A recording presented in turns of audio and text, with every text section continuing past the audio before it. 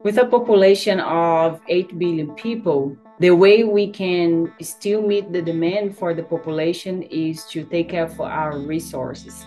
It's learning how to reuse those materials that have already been created, have already had an impact on the environment so that other people can use them as well.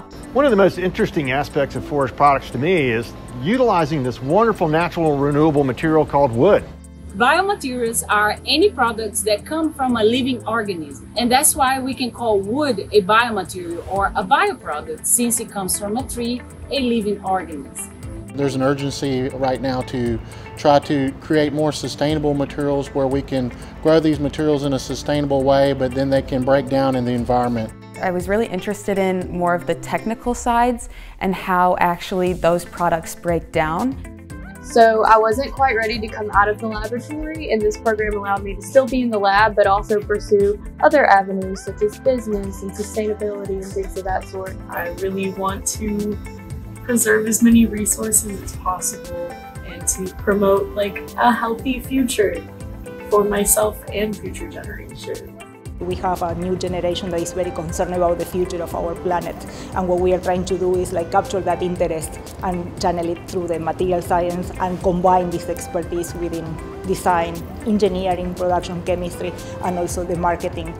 Our department has a wide range of focus areas where students can interact one-on-one -on -one with faculty, with staff, and with other professionals. But I've learned so much from being in this field. I want to continue to be a mentor and I want them to be like, you can do this. It doesn't matter like who you are.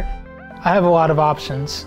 The wood products industry is booming right now and it's a very, very interesting place to be in. There are many universities that offer a course on biomaterials across the country, so you have many options to choose. In Sustainable Biomaterials program, we are giving opportunities to students to have a hands-on experience and to create beautiful, sustainable wood-based products. Trees store carbon, and when you make products out of wood, you're also storing carbon there. And the longer the product lasts, the longer you're going to store carbon in that product, which will make this carbon not go to the atmosphere. Using sustainable biomaterials to sequester carbon, this is one of the main ways that we can combat climate change and make a difference in the world.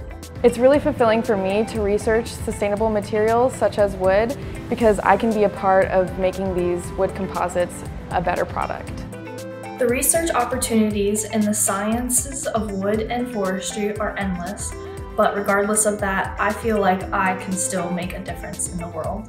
We invite you to learn about our forest and the incredible products that we can get from them. We will take care of our forest, and in return, the forest will take care of us.